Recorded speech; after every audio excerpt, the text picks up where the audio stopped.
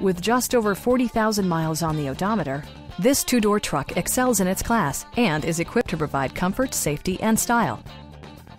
It features four-wheel drive capabilities, a durable automatic transmission, and a powerful eight-cylinder engine.